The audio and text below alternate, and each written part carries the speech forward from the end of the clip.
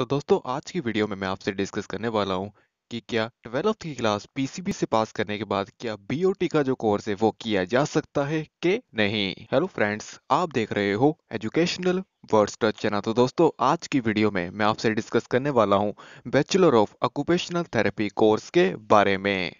और दोस्तों, अगर आपने ट्वेल्थ की क्लास को पास कर लिया है और अगर आपको ये जानना है कि ट्वेल्थ की क्लास को पास करने के बाद आखिर कौन कौन से कोर्सेस होते हैं तो मैंने उन वीडियोस का लिंक इस वीडियो के डिस्क्रिप्शन में दे दिया है। आप इस वीडियो के खत्म होने के बाद उन वीडियोस को भी ज़रूर देखिएगा। तो चलिए, अब हम अपनी इस वीडियो को शुरू करते हैं। तो आप में से कई स्टूडेंट्स का दोस्तों ये डाउट होता है कि can I do BOT course after twelfth PCB यानी ट्वेल्थ की क्लास पीसीबी से पास करने के बाद क्या बीओटी का जो कोर्स है वो किया जा सकता है कि नहीं?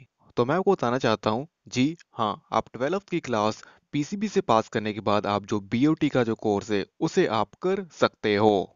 अगर मैं आपसे ब्यूटी कोर्स का एलिजिबिलिटी क्राइटेरिया के बारे में आपसे मैं डिस्कस करूँ तो ब्यूटी कोर्स का एलिजिबिलिटी क्राइटेरिया दोस्तों जय कहता है कि आपको जो ट्वेल्थ की क्लास है, उसे आपको पास करनी पड़ेगी। तो आपको ट्वेल्थ की जो क्लास है, वो आपको पीसीबी के सब्जेक्टों के साथ आपको पास करनी पड़ेगी, जिसमें आपको फिजिक्स केमिस्ट्री और जो बायोलॉजी का जो सब्जेक्ट है, वो आपको कंपलसरी पढ़ना ही पड़ेगा।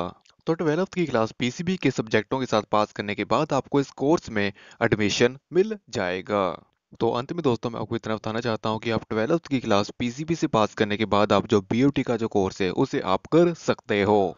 तो दोस्तों, इस वीडियो में मैंने आपसे बीयूटी कोर्स के बारे में आपसे मैंने इस वीडियो में डिस्कस किया है। मुझे लगता है कि आपको इस वीडियो के माध्यम से काफ़ी अच्छी जानकारी आपको प्राप्त हुई होगी।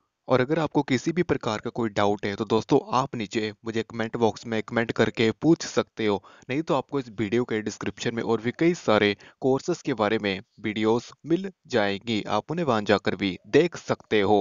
तो अंत में दोस्तों, अभी आपको जय वीडियो कैसी लगी? अगर आपको जय वीडियो पसंद आई है तो आप वीडियो को लाइक कर सकते हो और चैनल को सब्सक्राइब करना मत भूलना। धन्यवाद।